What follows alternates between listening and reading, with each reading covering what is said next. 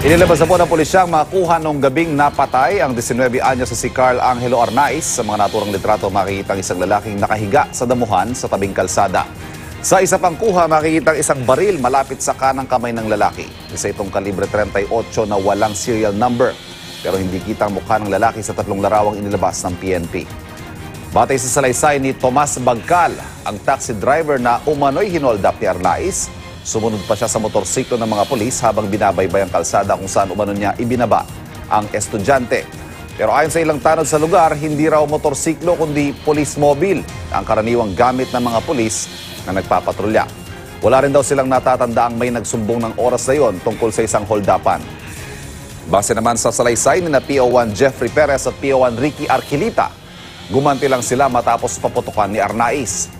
Positibo sa paraffin test si Arnaiz pero hindi naniniwala ang kanyang lola na nagpaputok nga siya. Lumalabas naman sa autopsy report na sa dibdib at bandang balikat ang tama ni Arnaiz. May mga palatandaan ding pinahirapan at kinaladkad pa si Arnaiz habang nakaposas.